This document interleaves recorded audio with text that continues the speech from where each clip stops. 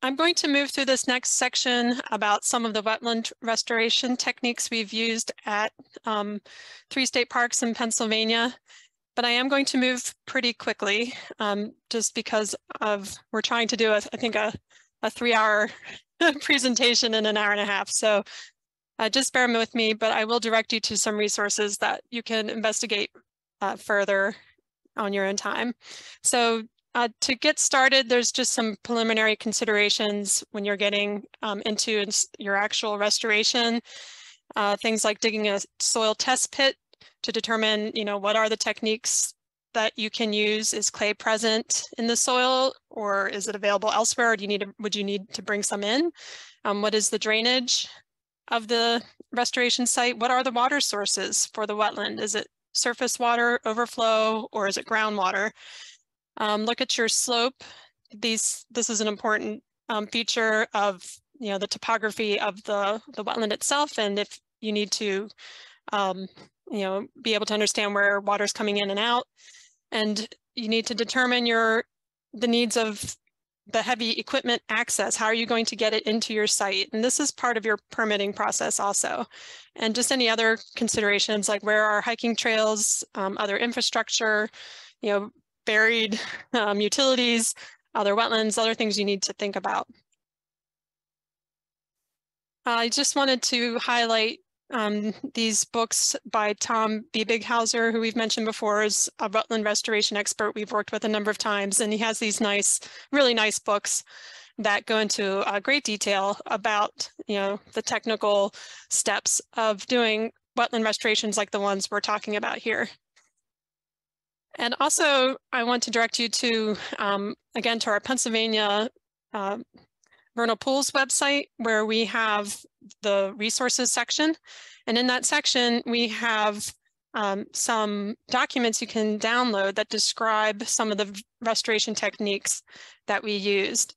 And as I go quickly through these first three techniques, I'm just going to show you the posters that we developed, and you can go back and download these posters and look at the steps in detail. Or better yet, uh, you can go to, to the Kings Gap Environmental Education Center to the, the Forest Pool Trail at the base of the mountain there and, and walk the trail and see some of these restoration sites and um, kiosks for yourself. So the first technique that we used at King's Gap um, was groundwater technique. And this is for sites with a seasonally high water table. It's a it's really a pretty simple technique. It just involves deepening the basin until it can be connected to the water table. And of course, your water table is fluctuating also with the season, so you need to be certain that the water table is high enough to connect to your basin um, through the period of time you want the basin to hold water. So for vernal pools, that's generally into July. Uh, you do not need clay soils in this type of restoration habitat because the depression is just directly connecting to a high water table. So you're not trying to hold the water there with an impermeable layer. Um, the, the, this is a, just a simple cross-section drawing showing um, the topography of a typical vernal pool restoration in a sort of an idealized version of what we are trying to achieve. Uh, we don't want a pool that is too deep or with a uniform depth. We want to have a mix of shallow areas and deeper areas. Uh, the deepest pockets in this pool were designed to be just 12 to 18 inches deep. And the overall basin has gently sloping edges. So here's the um, groundwater technique poster. And again, you can you can get a copy of this from our website. You can go out to Kings Gap and see this uh, poster next to uh, one of, well, two pools actually that we restored using this technique. And, um, you know, prior to restoration, you know, we used a soil auger to um, remove a plug of soil. And that's where how we found the high water table was right there below the surface. Um, you know, we used uh, just your basic construction level survey rod and tape measure to measure things like you know, your target basin length, width and width and depth before and after restoration, and to kind of calculate how much soil removal you would need to do to be able to expose that water table and increase that springtime flooding period. Um, prior to construction, the uh, vegetation, leaf litter, and topsoil was removed from the basin and reserved. And then we did the work in the basin to lower the profile of the basin. Um, we had an excavator with a 40 inch bucket that removed 16 to 19 inches of mineral soil from each basin. Um, and then that excess mineral soil from each basin was spread out, not compacted, but just spread out nearby in a flat upland to avoid erosion back into our deepened basin. And then the excess soil, where we spread that excess soil, was seeded with wheat and covered with green straw for you know erosion control. And once the basin, um, our restored basin was a nice bowl shape with the gradually sloping sides, the excavator took that reserved topsoil and the leaves um, that we had sort of peeled off the very top of, of the basin before we started work, that was put back into the, into the deepened basin. And so that's to restore all that, you know, we talked about the, um, the there's always life in that pool, pool basin. Um, even if it's one that wasn't working that well, there was probably some insect um, eggs and things. So we're putting those back in there so they can colonize the, the new pool. And the excavator, um, before it was finished in that pool, it didn't leave a nice smooth um, surface like you might want, you know, in your, your yard. we want rough soils, loosened soils that they allow um, air and water to mix into the soil and creates microtop topography in the pool basin. And um, that's that's basically the process um, for that, that process. You would do it pretty much any restoration site where you're going to do that rough and loosen of the soils and also add back in things like large pieces of, of woody material. Um, those big chunks of wood are really important sources of um, you know, structure and, and shelter um, and shade inside the pool basin. So for the groundwater technique, uh, we found that this was very successful at Kings Gap. Uh, the, both the sites that we uh, treated this way responded very well. Uh, Pre-restoration, we didn't have any vernal pool amphibians using the site. Post-restoration, we had all sorts. So that worked well. Uh, we used another technique, the synthetic liner technique. Uh, this we used at sites that didn't have any naturally occurring clay soils, and they also lacked a high water table. And it basically just uses um, an aqua-safe synthetic uh, liner to create a subsurface impermeable layer to keep water ponded on the surface. So we did this, use this technique at four pools at Kings Gap, and it was also the technique, as Joanne mentioned, at the Bellacre um, Borough project site. And um, you know, the, the key thing here, it's similar to, you know, you're going to deepen the basin, shape it, put down your, um, your liner, which is actually sandwiched between two layers of geotextile fabric, which will protect that plastic liner from getting punctured inadvertently. Uh, you have to be really careful not to drive your construction equipment over it so that you don't puncture it. And then you have to, you know, nail it down all around the edges and then cover it back up um, to sort of settle it in.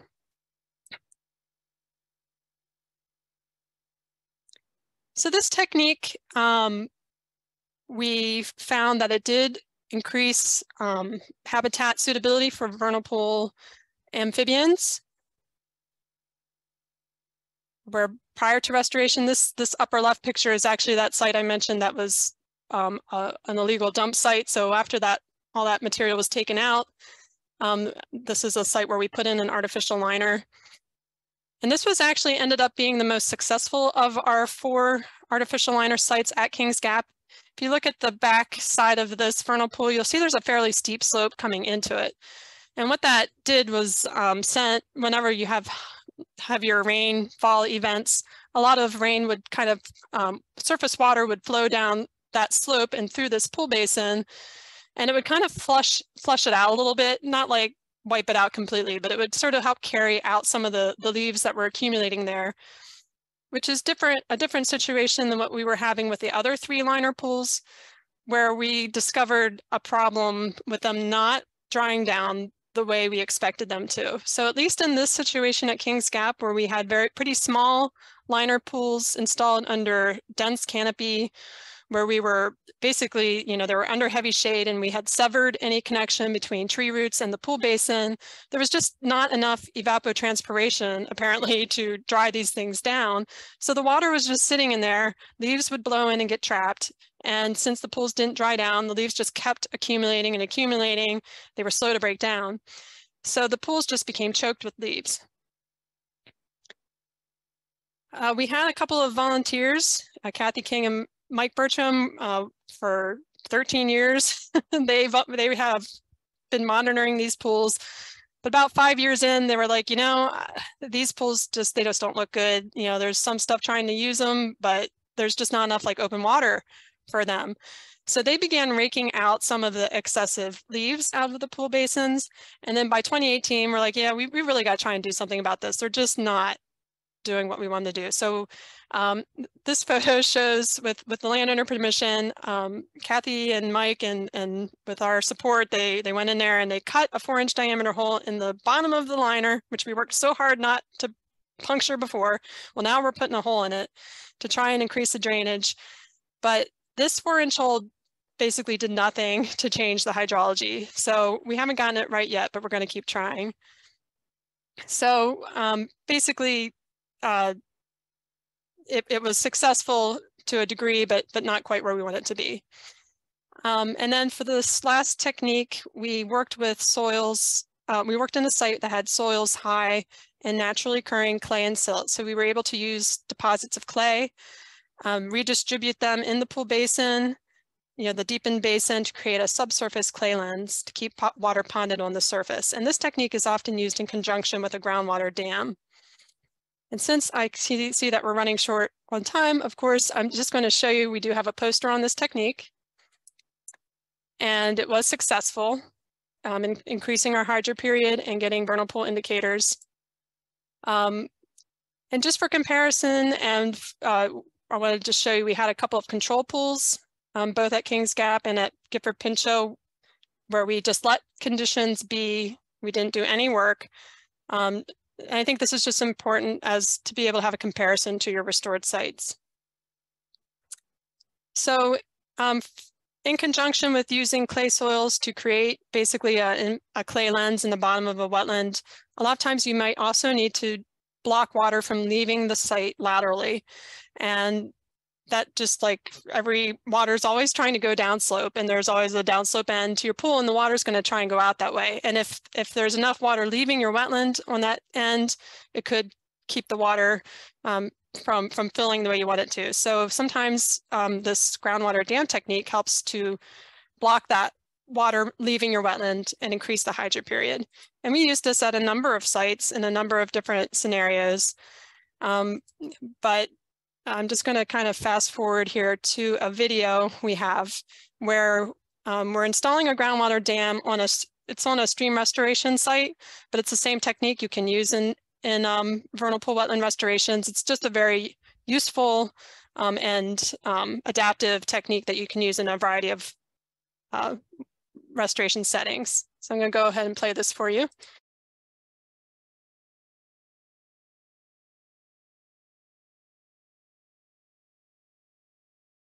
We're building a groundwater dam.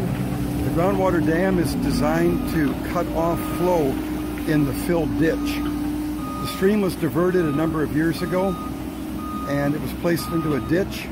We are now filling the ditch with soil. However, if we just filled the ditch with soil, water would continue to flow in the bottom of the filled ditch through the organic layers and it would also follow the gravel and sand that's been deposited in the bottom of the ditch over the years. When a person looks at a stream, we see water flowing, not recognizing that two-thirds of the flow of water is really below the surface in the gravels and the sands. So this uh, groundwater dam that we're installing involves the, first of all, digging of a core trench.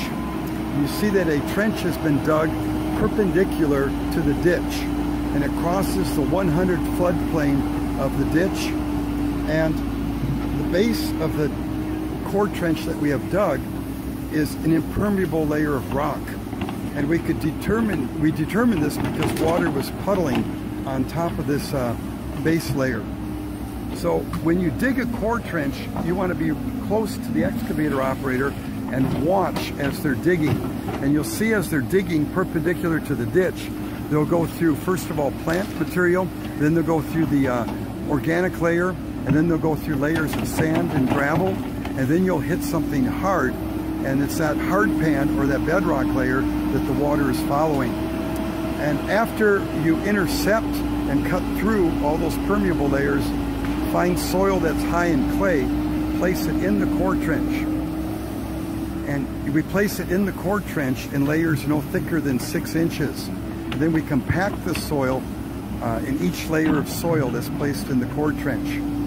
And what we do is we build up that compacted soil to equal the original bank height on either side of the ditch. And this will successfully block water following the ditch underground it will return the elevation of groundwater on the floodplain to historic levels. I've used this technique to repair farm ponds and wetlands that have not held water for 50 years. And we've also used this technique to saturate the soils in entire valleys, uh, returning groundwater elevations to historic levels. So we used this groundwater tech, uh, groundwater dam technique at a vernal pool uh, at Gifford Pinchot State Park. Uh, here's the original basin prior to construction two years before. Here we are during construction, repairing the outlet ditch with a groundwater dam. Here's the pool one month post-construction. Here it is one year post-construction. And here it is last fall, six years post-construction. And this site responded really beautifully, both hydro hydrologically and with the plant and wildlife species present. Uh, so it is a very effective technique at most of the sites where we've used it um, and where you have enough clay on site to create your clay lens and groundwater dam.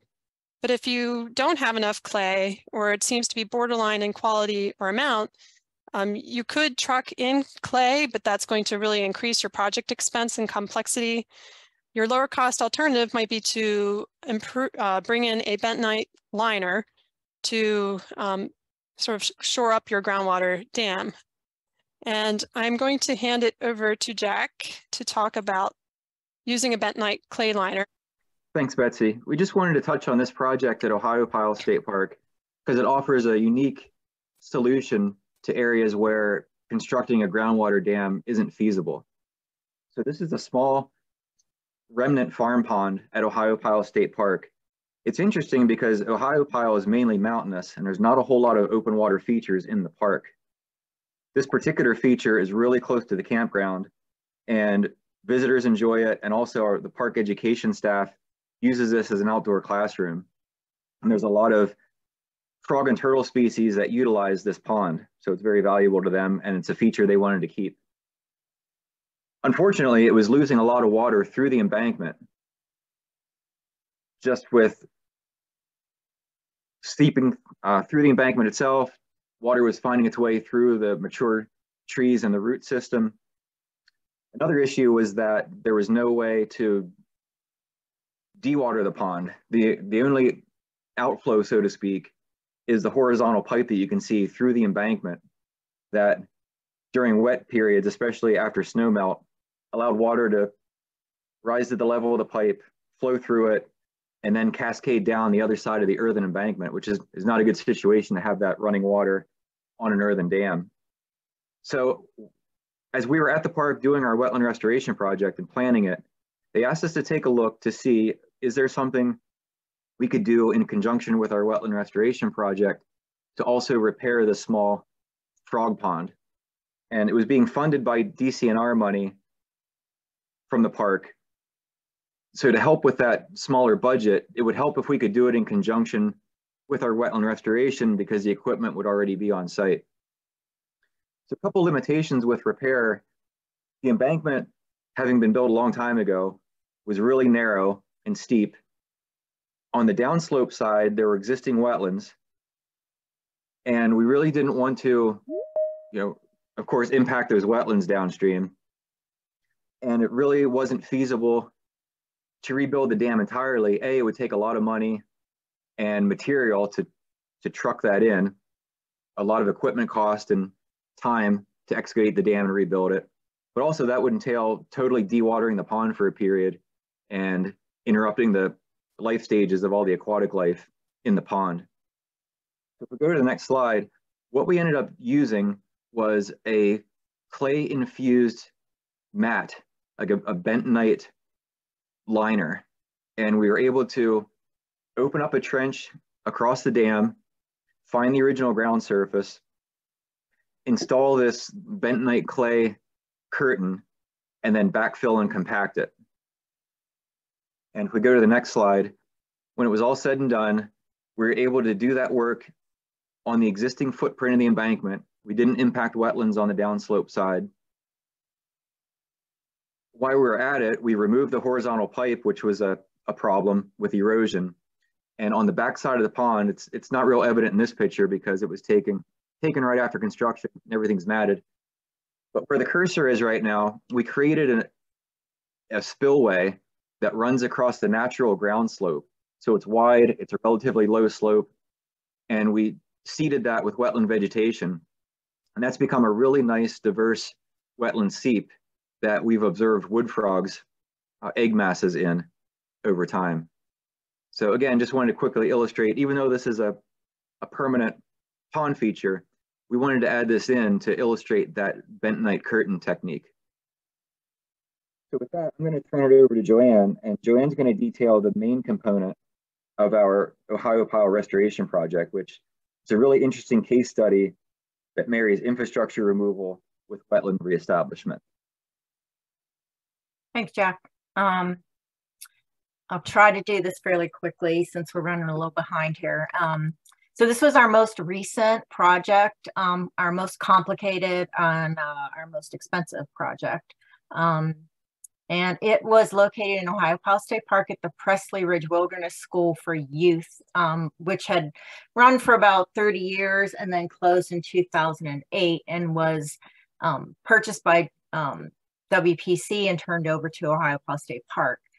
So this project involved removal of old infrastructure from that school, including a large concrete swimming pool in order to restore a spring-fed seepage wetland. You can see um, an aerial photograph on the right that the swimming pool was already in place in the early 90s. So this is from 1995.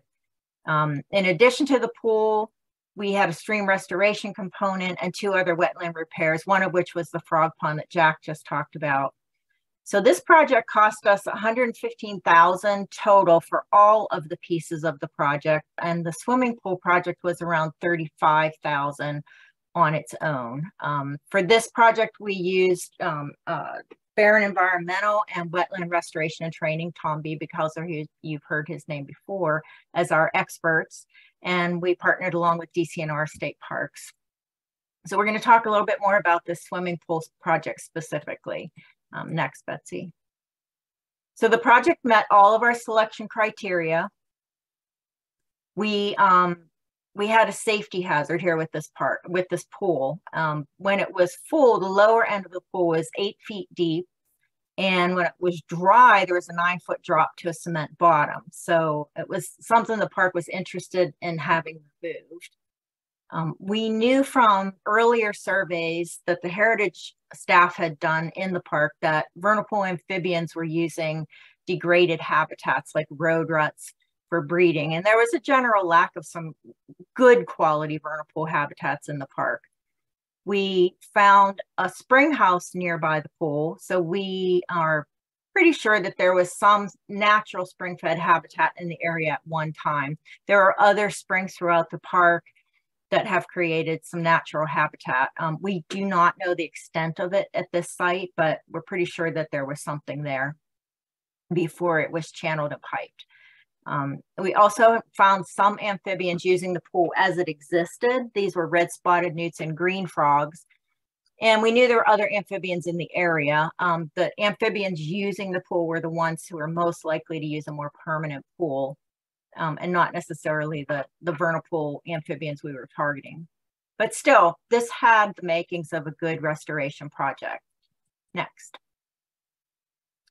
So we started our pre-surveys in 2018. Um, the three of us, along with Tom B, um, who ended up doing our restoration plan for us, visited. And what we found was this large concrete swimming pool, about a quarter acre in size. Um, the depth of the concrete was unknown, but we found out later it was quite thick. Um, we already knew it was built, as I said, in the mid 90s. There is a large um, dam at the lower end of the pool um, that's about 16 feet wide at the top and a concrete spillway off to the west that exited to a spring-fed channel. We did not see cracks or damage in the cement, so we know this was a very well-built structure. Um, we also found um, sand along the east side of the pool where they had um, brought, brought it in to create a beach. So we were able to utilize that for another um, piece of the project. Next. So the way they brought water into the pool was, um, you can see the swimming pool outlined in purple there. And uh, the, the um, water was piped in from two different locations. To the left of the pool, you'll see where the spring-fed channel was running. And they piped that using a two-inch diameter pipe to this little um, bubbler that's up in the center of the slide here that um, sprinkled out and then drained down into the pool. Um, also, they there was a four inch pipe that they ran from the Long Run Creek, which is off to the right of the pool in this image. And that was piped into the pool as well um, from quite a distance. So they, they did a lot of piping in this, this pool and we found lots more buried pipes when we started to remove it. Next. So we had two main project goals for the project. Um, one was um, to provide for public safety and to reduce maintenance um, needed from park staff. The second was to restore the area to more natural habitats. So we wanted to create a fishless vernal pool type habitat for amphibians and invertebrates. And one of the um, invertebrates that we found in our 2018 surveys was the comet darner, which is a rare dragonfly that actually specializes in fishless habitats. So you know, we knew we had some some um, creatures here that needed some improved habitat. And interestingly, um, this swimming pool had trout in it because it was stocked for a um, student fishing tournament at one time, and some of them continued to survive being caught. So we also wanted to create a wet meadow habitat for pollinators and other wildlife. And since we had that sand from the beach, we wanted to provide some turtle and bee nesting habitat. And you can see over here on the right that we actually found some turtle shells next to the sandy area um, whenever we were doing our 2018 surveys. Next. So from 2018 to 2020, that's when we conducted our pre-survey site visits. We did our fundraising, our plan development, our permitting, and we, we started construction July 20 of 2020. Um, we needed some heavy equipment and experienced operators because this was um, going to be a project to get all this uh, cement out of here. So we wanted people who had done this before knew what they were doing. So the equipment we needed was um, this hydraulic hammer, a skid steer, and two different sizes of excavators. Um, and you can see we had to drill holes all the way around the outside of the pool so that the excavator could then break up the cement and remove it. Next.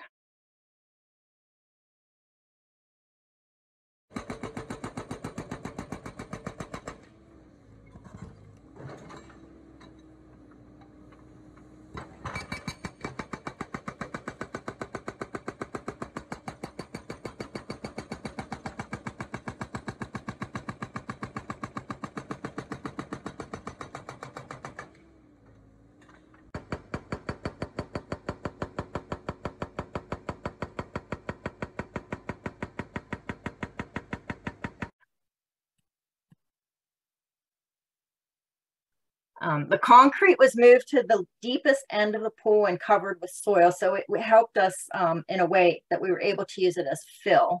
And we left the concrete on the bottom in place so that it could serve as artificial bedrock that would help maintain groundwater in the restored wetlands. It's just a real quick little time lapse that shows how we were moving that um, concrete from around the pool.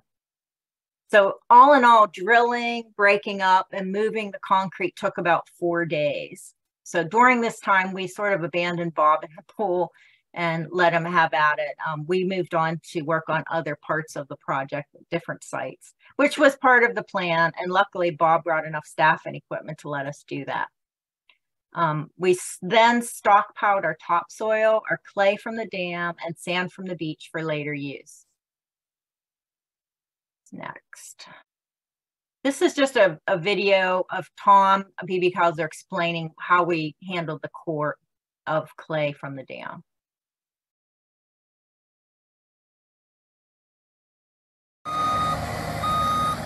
The excavator and the skid steer are being used to remove the dam for the swimming pool. The dam contained a core made out of clay so it wouldn't leak. What we're doing with the excavator and the skid steer is that we are taking this clay core, removing it, and stockpiling it. That clay will be used to line the wetland that we're going to build at the upper edge of the swimming pool. The soil that's low in clay will be used to form the wet meadow that will be located downhill from the wetland we're building. So once we removed all of that soil and clay, we shaped the wet meadow portion of the project and we used a very gentle slope of 4.5% in order to maintain sheet flow and prevent water from channeling in the meadow. Next. Then it came time to construct our pool and we took all of that clay, we spread it over this, the area where the pool was going to be constructed so that we could have a fairly even depth of clay. And then we dug the pool at different varying um, depths, like Betsy had mentioned earlier. So we had some deeper parts and some shallow parts. Um, we lined it with clay and then spread topsoil over the surface and shaped pits and mounds to give it a more natural topography uh, added rock, sticks, and logs to provide added cover and places to perch and bask for the animals we hoped would use it. Next. This is the finished product. Doesn't look like much before the water is added, but there it is. And we'll move on. So now we have to add the water. And our original plan was to redirect the water from that spring-fed channel that was to the left of the pond in that diagram over to the site in a sheet-like pattern that would sort of snake around and get to the pond. Um, but during construction, there was there were several um, pretty severe storms that caused some rapid high water and erosion over in long run streams. So we were a little bit afraid that those types of events would either wash out our dam or cause the channel to redirect itself. So we decided to use the pipe that was already there that was buried underground that led to that bubbler. So once the bubbler was dismantled, we connected additional pipe, ran it down into the fountain or into the bottom of the um, pool and tucked it in among some rocks so it wouldn't be visible and would allow the pool to fill from bottom up. Next.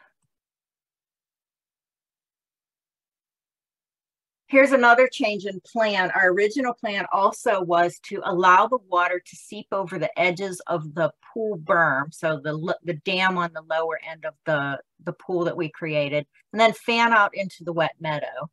But we had some concern again over channeling in that meadow. So we decided to create this gentle outflow instead that would snake around. You can see that sort of compacted area in the image here. And then the pool is back where you see the people standing. So that allowed it to sort of slow down, move around, and then feed out into the pool.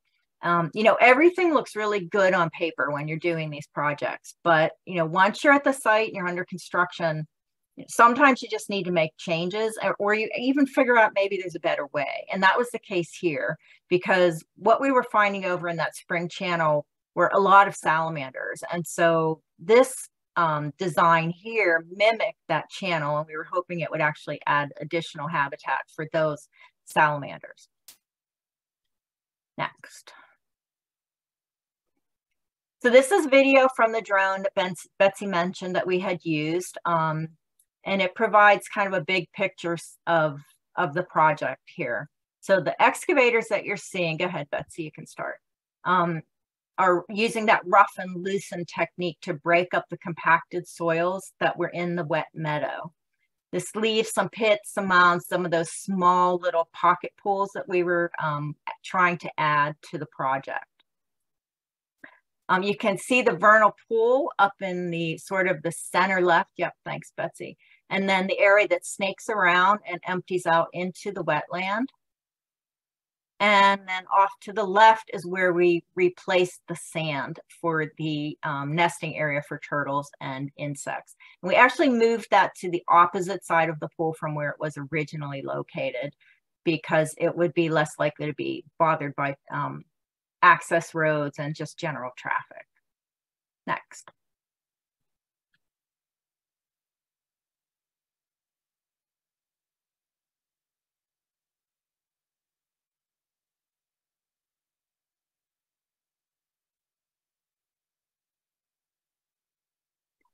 So after construction, we seeded the exposed areas in the meadow and around the edges of the wetland with some native upland and wetland mix depending on the soils.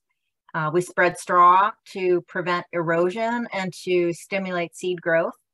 And then in September, we returned to plant some perennials and we picked plants that were native to Pennsylvania and specific um, to, to the region and appropriate for the conditions that we had.